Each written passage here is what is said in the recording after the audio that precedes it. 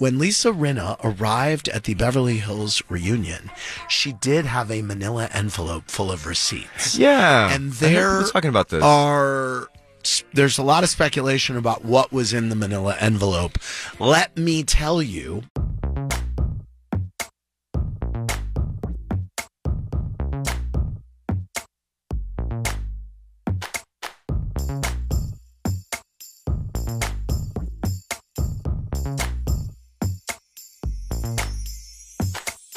Thank you